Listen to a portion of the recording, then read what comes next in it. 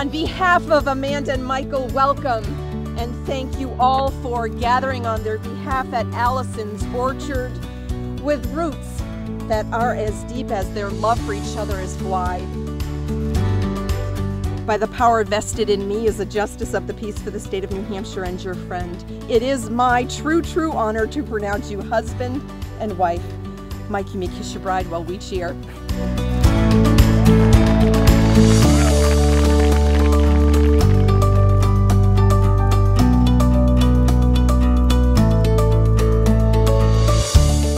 Twelve years ago, you, Mike and Amanda, when you first met, you said yes to one another.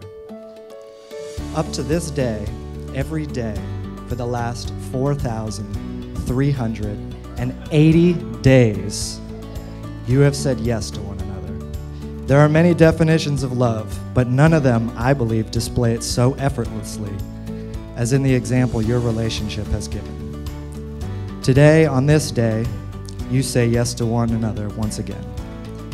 What is this day really but just a set of beautifully conducted formalities that honor and pay tribute to the splendor that was born on the day you first met and said yes? Yes to another day together. Because you see, in my eyes, you have always been married.